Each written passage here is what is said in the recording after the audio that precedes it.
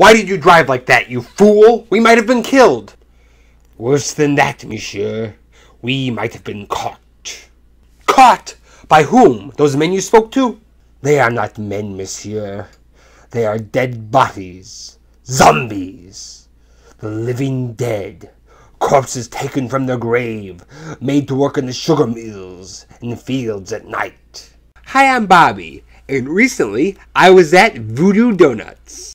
Being in the mood for more voodoo and for more donuts, I'm gonna review the movie where Bela Lugosi plays a voodoo master, White Zombie. For Bela fans, this is one of the movies where he was the most creatively involved. And for zombie fans, this is considered the first zombie movie. So, why don't you sit back and relax as we take a look at White Zombie.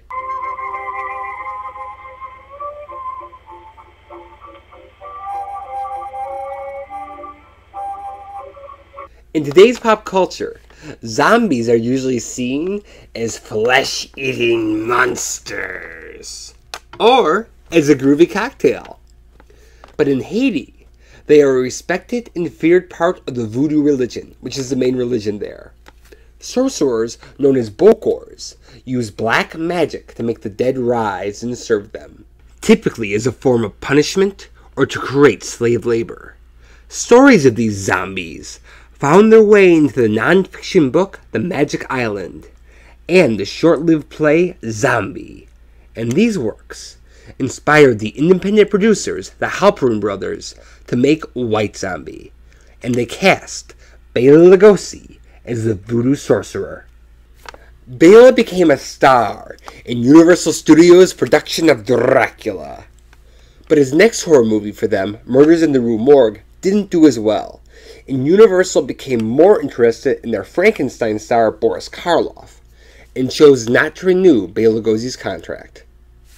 So Bela, who always spent money as fast as he made it, agreed to do the independent film White Zombie for $500.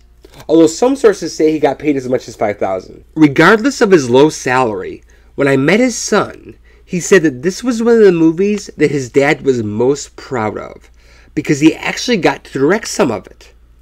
When Bela first came to America, he directed plays in the Hungarian theater community, so he had experience.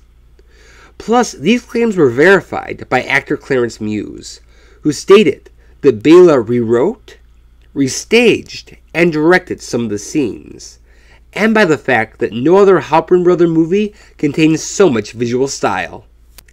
The budget was only $62,500 with an 11 day shooting schedule.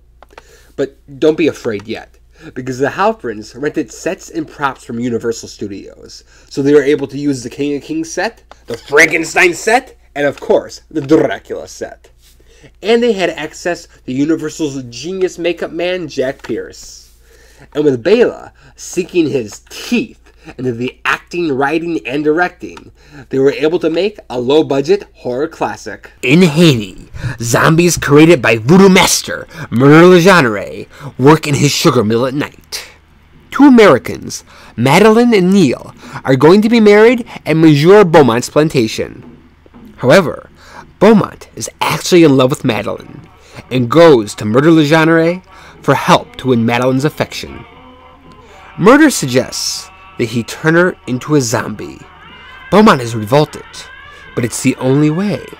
So Beaumont gives her the poison on a flower, and Murder performs the spell. At first, Neil thinks Madeline is dead, but he has a drunken vision of her still alive and finds her grave empty. He goes to Dr. Bruner, who realizes it must be voodoo, and the two men go to Murder's castle to save Madeline. As the first zombie movie, it's closer to its Haiti roots, so these zombies aren't gonna eat you. Instead, what makes them creepy is how they coexist with the living, and how anyone can become one. From the start of the movie, you feel the exotic and haunting atmosphere. Now, I don't know about the real Haiti, but this place is filled with strange superstitions and rituals. Driver, what is it? It's a funeral, Mademoiselle. They're afraid of the men who steal dead bodies. So they dig the grave in the middle of the road where people pass all of the time. And magic and mysterious witch doctors. It seems like a natural place for zombies. At night, zombies wander around outside. They work in sugar mills. They drive carriages. They're just part of existence. Workers and servants are afraid of them, and the wealthy try to ignore them. Kind of like most problems. Now, if murder tells his zombies to kill someone, they will. So they do pose an actual threat. But most of the time, it's just the creepy factor of having to interact with a dead body. Now, we've all seen dead bodies, at least at funerals. And for a lot of us, they are creepy. So it's an easy situation to relate to. But now we have to sit next to them. We have to touch them. And we have to let them touch us. To Beaumont, these are just nameless monsters. But Murder explains who each one of his collection is. Zombies! Yes, they are my servants. Did you think we could do it alone? In their lifetime, they were my enemies. The witch doctor, once my master, whose secrets I tortured out of him. Chauvin, the high executioner, who almost executed me. I took them, just as we shall take this one. But what if they regain their souls? They would tear me to pieces, but that, my friend, shall never be. It's one of my favorite scenes because you wonder how much of their soul is left behind that emotionless face. Especially with the executioner. Is he still ready to kill? And by him explaining who they were as people, you kind of relate to them as such. And you can't help but think how terrifying it must be to become a zombie. And you realize murder could turn anyone into one. And he does. He slowly and tortuously turns Beaumont into one. And that's what the people who are really afraid of zombies are actually afraid of becoming one. So it's authentic, pretty easy to imagine, and eerie. And speaking of eerie, let's talk about Mr. Bela Lugosi. I have other plans for Mademoiselle. And I'm afraid you might not agree.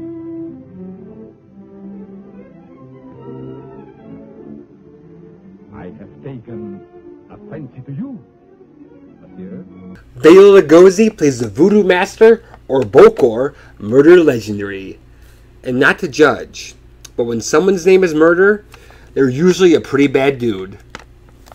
We only know bits and pieces about his background, but it's enough to feed our imagination. Now, Jack Pierce from Universal did the makeup. And with that outfit and Bela's evil smile, he absolutely looks like Satan. And he acts like him too. And he just relishes in crabbing Beaumont. I have looked into her eyes. She is deep in love. But not with you. They're to be married in an hour. There must be a way. There is a way. No, not that.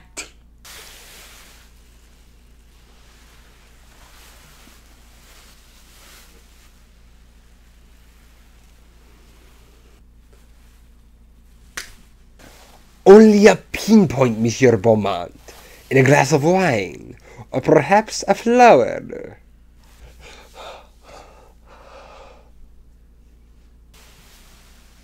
Send me word when you use it.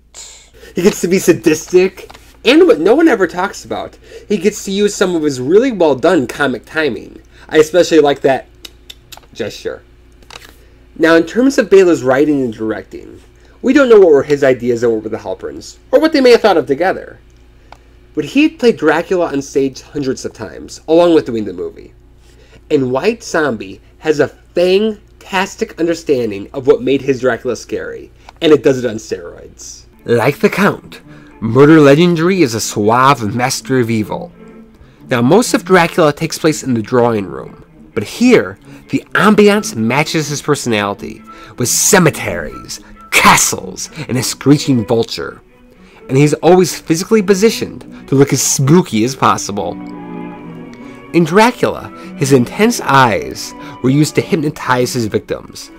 Here they go a step further, and they do an effect where they're superimposed on the screen, as if he could always be watching. Also in Dracula, his hands horrified audiences, so they do plenty of close ups of them. And these are the hands that make the voodoo dolls, so they're significant to the story. Bela's physical movement is so graceful, every flick of his finger is perfect, like a ritual, and it makes you believe that he can perform magic. As for the rest of the characters, both in terms of writing and acting, it's hit or miss, and this is where you see the low budget. Most of the cast were former silent movie actors. Madge Bellamy, who plays Madeline, had been a huge star. Robert Fraser, who plays Beaumont, had been the original Robin Hood. But they are struggling with adapting their techniques to sound, and it was a hard adjustment. And it makes it difficult to become interested in their characters. Now, along with my own criticism, White Zombie was also criticized when it first came out. When White Zombie came out in 1932, it was considered outdated. How do you like that, Gramps? And while they do some innovative shots, there is some merit to this argument. I already talked about the problem with the silent movie actors. Some of the scenes are actually done in the style of a silent movie, with no dialogue and just music. And aside from the zombies, the story is very much an old fashioned and predictable melodrama. No wonder it seemed dated in 1932. But now it's 2019, and almost every movie from 1932 seems dated.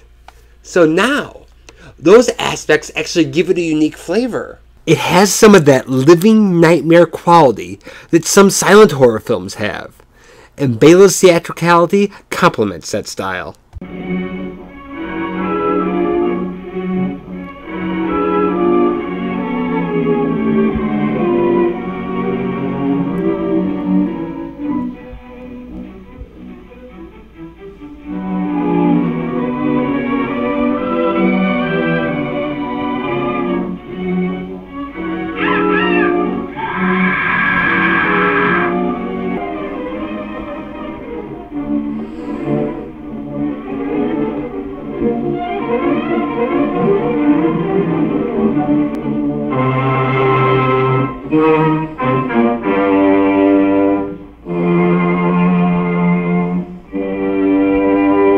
It's like the best parts of a silent and sound horror movie combined. Unfortunately, not all aspects have gotten better with time. If you're not used to 1930s horror movies, the pacing is going to seem slow. Also, because the movie's in public domain, depending on your copy, the picture and sound quality might not be so hot. I recommend it on this restored Blu ray. For me, it made all the difference in the world. While not as big as Dracula or Frankenstein, for an independent film in 1932, White Zombie did amazing at the box office. In 1936, the Halperin brothers did a sequel, Revolt of the Zombies, which didn't feature Bela Lugosi and didn't have the visual style of the first film. White Zombie became a favorite of a young man named Robert Cummings, whom you may know as Rob Zombie, and he named his band White Zombie after the film. Author Bram. Braddock has written the book prequel to White Zombie titled Memoirs of Murder, and rumor has it that Blumhouse Studios will be doing a remake. White Zombie's not perfect, but it has a fantastic Bela Lugosi role, and you can count on that creepy atmosphere. So I give it three voodoo dolls out of four. He's had a rough day. Thank you for watching Dusty Old Movies, and next time you're out, why don't you order yourself a zombie, which was invented two years after this movie.